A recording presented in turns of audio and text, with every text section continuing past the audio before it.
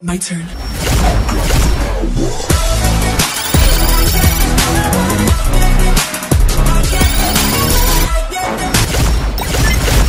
Motorbike, motorbike, bike, Hoy nos encontramos explorando un lugar muy cerca de la Ciudad de México, prácticamente estamos al lado, que es Ciudad Nezahualcóyotl, que mucha gente le conoce como Neza, como Nezahualcóyo, Nezahualpolvo antes, y también súper famoso Neza York. Hay un lugar muy famoso que es mítico, que ya no pude por la contingencia, pero deseaba ir a grabar, que se llama Spartacus, que es un antro que bueno, ya es legendario, las malas lenguas y las buenas lenguas hablarán de él, pero hablarán. Algo que abunda así, manas, como, como de baches, son los hombres chacalones. Los hombres chacalones no es un apodo malo, muchas veces creen que es así cuando no saben, pero les voy a explicar un poquito cómo son los hombres chacalones. Son esos hombres, son esos hombres que te hacen sentir mujer. son hombres que en su apariencia se ven rudos, no tienen nada que ver con la clase, no tienen nada que ver con el color de piel, no tienen nada que ver con cómo hablan, sino más bien la actitud chacal es, es, es ese sello como de ricura, es que no sé cómo decirlo, o sea, hoy voy a sacar un ejemplo, ahorita van a ver el ejemplo para que les quede más bien clarito de qué estamos hablando con los hombres chacalones.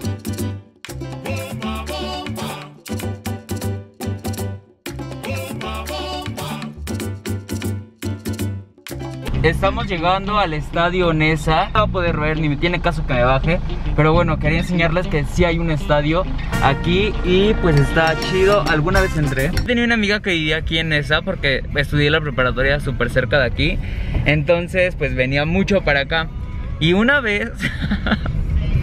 Me tengo que parar para contarles esta historia. En mi época de rebeldía en la prepa, yo una vez no entré y entonces pues hablaron de coordinación a mis papás. Bueno, pues a mí me valió. Yo me acuerdo que esa vez me fui una tardeada así a Zona Rosa y entonces cuál es mi sorpresa que mis papás llegaron a la casa de mi amiga en la cual yo se supone iba a estar después de, de salir de la escuela. Fue algo súper chistoso porque yo llegué aquí bien borracho a esta cuadra y cuando veo a mis papás afuera de la casa de mi amiga me quedé como atrás, ya supieron todo y pues mi amiga no estaba conmigo, me había ido yo por... Una vez también fui a un lugar que se llamaba Iguanas y ahí vendían unas micheladas bien ricas que les echaban piña. Si no me equivoco, eran las piñas, lo que yo no me acuerdo. Pero bueno, me puse una borrachera que para qué les cuento. Hasta una vez le inventé un mesero que era mi cumpleaños y me dieron una mentada cucaracha, una madre así, que era una bebida que le prendían fuego. Me puse, me puse tan mal esa vez que ni me acuerdo de nada. no sé si es mi idea, pero Nes está súper lleno de bares y de antros y de lugares así como chiquitos en donde la gente sale a vender afuera de sus casas muchísimas micheladas. Siempre en el Zagualcoyote en cada esquina encuentras tacos de carnitas. Ahorita vamos en camino a una avenida que se llama Avenida México que está llena de comercios. Desconozco cómo se encuentran ahorita, pero pues vamos a ver. Vean qué bonitas están tapizadas las calles llenas de puros hoyos. Todos estos negocios son llenos de ropa, de accesorios. Todo está cerrado. Aquí hay uno de fotografía. Todo está cerrado. No puedo creerlo. En este ciclista, este ciclista trae su cubrebocas.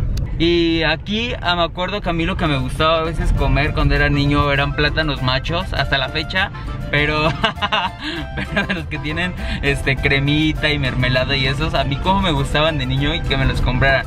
Y yo era muy feliz, también a veces de vez en cuando en la paletería que estaba abierto me, me compraba mi papá este, paletas de hielo y yo era súper feliz. Bueno, Nezahualcóyotl significa coyote en ayuno, es por eso que también ellos tienen su imagen, su símbolo del coyote que investigando sobre la historia de Nesa, me di cuenta de que este lugar era como una zona desértica que no servía para el cultivo y es por eso que no se llenó de, tierras para, pues para sembrar porque la tierra era salada. En cambio los primeros pobladores que llegaron aquí, dícese, dícese porque estuve leyendo que se las dieron muy duras porque nada de nada, no había apoyos, no había drenaje, evidentemente no había luz, era un polvadero y entonces por eso es que le decían polvo y cuando eran épocas de lluvia, puro lodazal. Chivi lo sorprendió sorprendente de aquí es que la gente se empezó a organizar y empezaron a comprar sus terrenos, etcétera, empezaron a construir y entonces Nesa tiene todas sus calles bien delimitadas, sus avenidas, todo está como súper simétrico.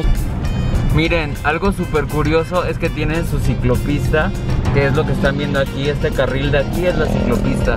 Mucha gente sí utiliza las ciclopistas que están ubicadas aquí en Ciudad Neza y algo que también es súper curioso es que siguen funcionando los visitaxis, ya menos, pero hay muchísimo mototaxi. Miren, aquí va pasando un, un carrito.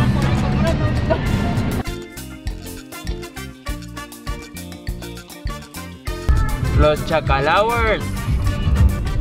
Esto que ven aquí ya no es la ciclopista, esto ya es el carril del Mexibus, que es el transporte también utilizado por las personas que viven aquí, como para movilizarse por aquí. Ahí va el Mexibus, saludos al Mexibus y así. Ven a toda la gente, ven a ese señor que trae su cubrebocas, el del el de, que va saliendo de la moto, prácticamente toda la gente, vean a ese señor, el chacalito que va ahí caminando también trae cubrebocas. Estamos pasando por afuera del Palacio Municipal de Nezahualcóyotl. Ahí está el Palacio Municipal. Saludos al Palacio. Ay, este señor está muy pegado a mí. Esa es mi casa en estos momentos.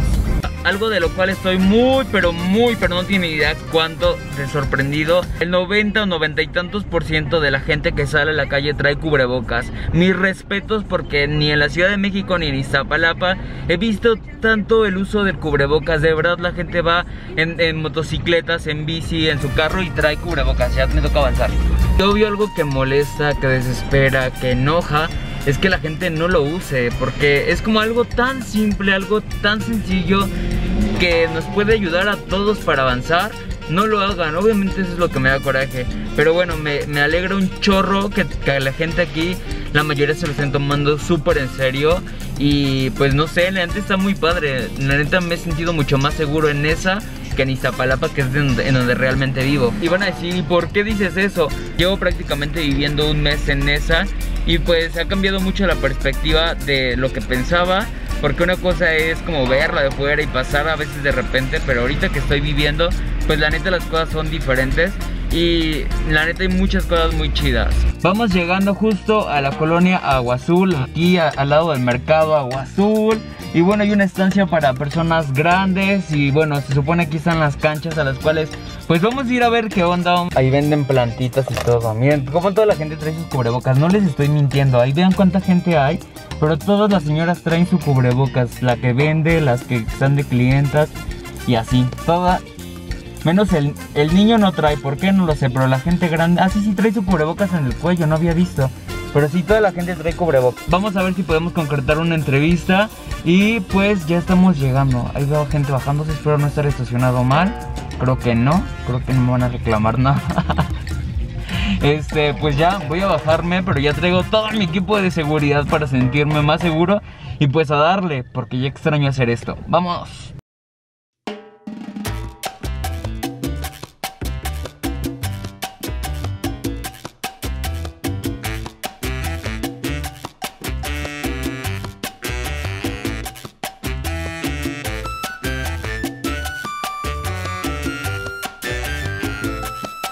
Bueno, pues mi nombre es Jesús Eduardo Suster Ciclosada.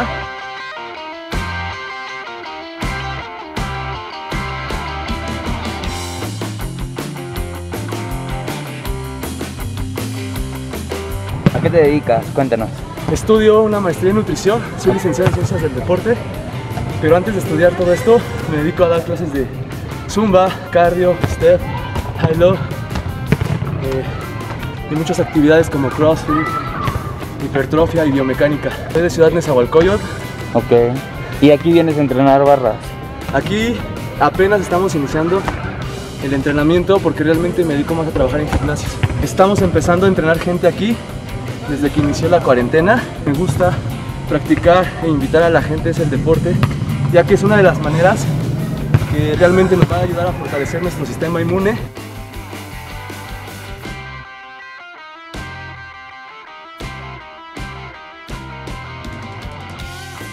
Este lugar es muy famoso y conocido por las canchas del Agua Azul que se encuentra al lado de la iglesia Sagrado Corazón de Jesús y el Mercado Juárez, sobre la avenida Atitlán. Aquí damos entrenamiento funcional de CrossFit todas las mañanas de 9 a 10. Eres bienvenido el día que tú decidas realmente a cambiar tu estilo de vida. Aquí te espero con mucho gusto. Aprovechen porque ahorita estamos entrenando a las personas totalmente gratis. Que no cobras, no cobras No, nada? no, no, porque estamos apoyando la cuarentena. Ok. O sea, yo sé que muchas personas ahorita están padeciendo de trabajo, de economía. Entonces aportar un granito como ser humano para mí es algo muy valioso. Las regalías me las va a dar el tiempo. Simplemente que la, la gente empiece a cambiar ese estilo de vida. Más sedentario por algo más activo, por algo más saludable. A ver, presume el abdomen. ¿Quieres que me levante mi Sí, playera? exacto. Todavía no, muchachos, hasta que lo baje. Hazme paro, por favor, Damián. Nada más dame un mes. Es palabra, A ver. es de ley. Está bien. Esa es una promesa. Va.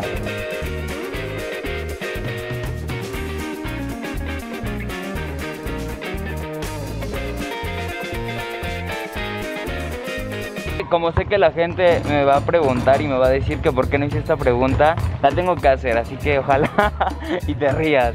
¿Te consideras chacalón? Híjole. sí, me, sí me estoy riendo. Pues yo creo que todos tenemos un chacalón dentro, ¿no?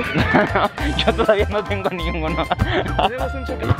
Y pues sí, me considero, pero Mira que los chacalones son como los dulces mexicanos tradicionales. Entonces yo creo que es, ya es como un clásico, ¿eh? Si quiere ponerse así, ¿en dónde, en dónde se pueden contactar para que vengan a, a entrenar contigo aquí los- la gente que nos ve en esa? en mi Instagram, que ya le cambié el nombre, Ya, a ver, ¿cuál es tu Instagram? Ajá. Entrenamiento de Jesús, puse mi nombre.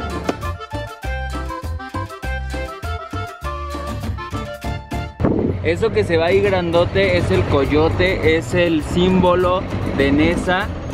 Ahí está. Coyote, ahí está el coyote, hermanas. Ahí está el coyote. El coyote es como el ángel de la independencia de Nesa, hagan de cuenta, pon tú.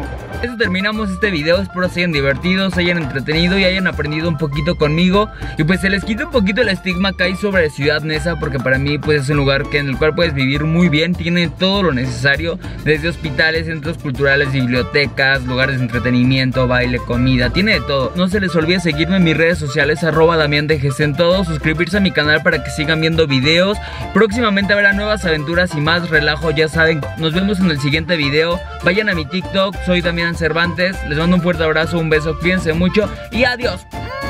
Bye.